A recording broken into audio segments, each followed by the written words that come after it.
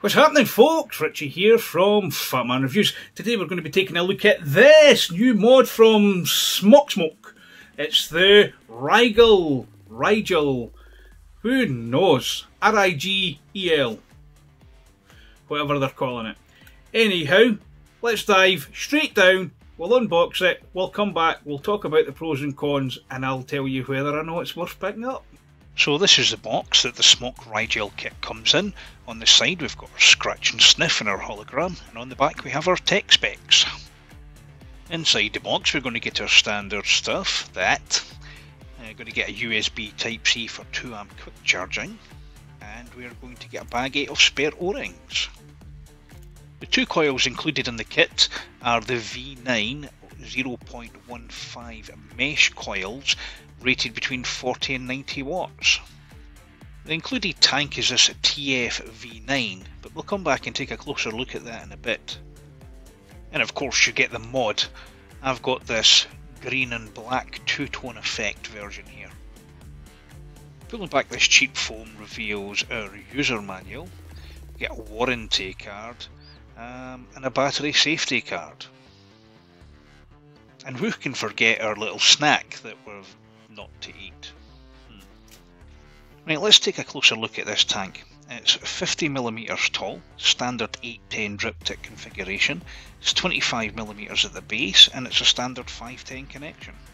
It features this fiddly lift and slide top fill. I'm not a fan, mainly because it's a right pain in the arse to close. However, I will say the overall build quality is very good. It's made from stainless steel and all the threads are smooth. This EU variant only holds 2ml of juice, but the standard does hold 4. It's worth noting that the air slots on this tank are huge. This might be the right moment to tell you that bubble glass and chimney extensions are available for this tank. And trust me, with the way these coils soak juice, you're going to need it. Now as I mentioned previously, it's a standard 810 drip tip, so you will be able to put your custom drip tips in here. And you'll want to, because this is a cheap drip tip. Moving on to the main event, the mod itself is 88mm tall, it's 28mm thick, and it's 44mm across. Made from stainless steel, but it does have this rubber ruggedized material over the front and this fake carbon fibre inlays in the front. The 510 is a little off centre. The magnets on this back panel are strong as hell. But that does mean that you're not going to suffer the dreaded battery rattle. Now the mod takes two 18650 batteries, and before anyone says it, I know these need rewrapped. Right, let's fire this up. Five clicks turns it on, and when you turn it on you get this colour screen. It goes all the way up to 230 watts and it does round robin. Three clicks of the fire button will lock the device from firing and three clicks will unlock the device. Holding the fire button and the left or down key will clear the puff counter and holding the right or up key and the fire button will change the colour of the display. Holding the up and down or left and right keys will lock the wattage but still allow you to fire the device. Repeat the process to reverse it. And lastly, 5 clicks of the fire key will power the device off. Very simple. So there we have it. Let's go back up top and we'll talk about the pros and cons. Okie dokie then, so let's talk about this mod in more detail. Let's start off with the tank. It's a TFV9 as plastered straight on the back. Why they did that, Lord only knows. Let's start with the cons. This, this is a con. This, what the, right, so to fill this up, you've got to pull it up and slide it out, okay? And then to, to close it you've got to do the do it in reverse. So you can't just shove it over. You've got to lift it up and push it over. And and it you've got to do it in a certain way. It's a bit like being on the Krypton factor. If you didn't do it right first time you'll be there 10 minutes later still trying. It's a right pain in the ring hole because you can't lift it fully up because then it thinks you want to open it. And if you didn't lift it enough it catches on the other slot here the other grip here on the actual top cap. So you've got to be very precise. So it's effectively you've got to pull it up and push it down. A fucking pain in the arse. But when you do get it in, it stays on. So I suppose, eh. anyhow, moving on for that. The airflow on this tank. Holy shit. Look at the size of those airflows, those air slots. I'm not being funny, I could fit a double decker bus through there and there's just no need. Listen to this.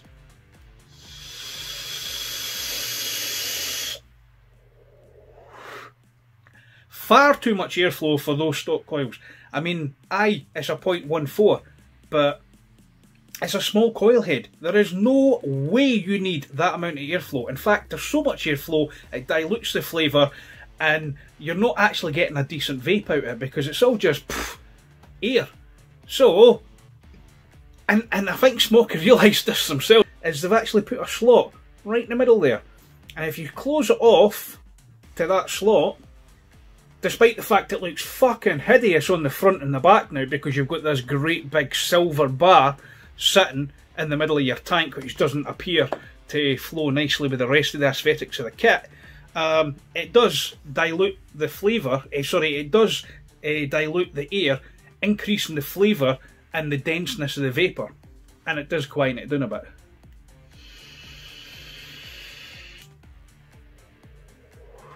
Much, much better halfway.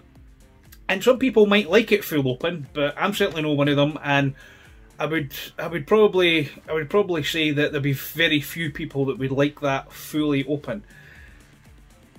The pros about the tank, well, other than it just looking nice with a kit, I guess, is that this tank, despite it being the TFV9 tank, takes the TFV8 Baby Beast coil heads. Not the EU versions, but the non-EU version.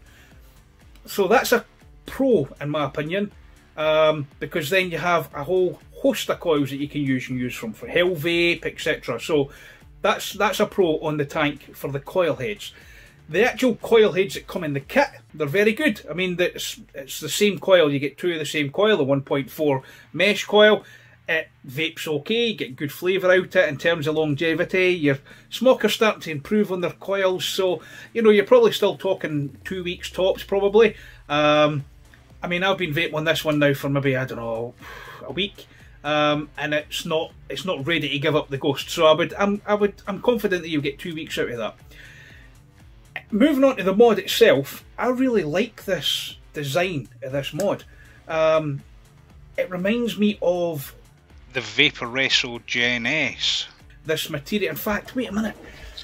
Where is it? Where is it? Ah, there we go. It reminds me of this mod. The Vaporesso Gen S. That came out last year um, with this rubberized material over the mod. Now, obviously, the mods are completely different. However, the material that's used is the same.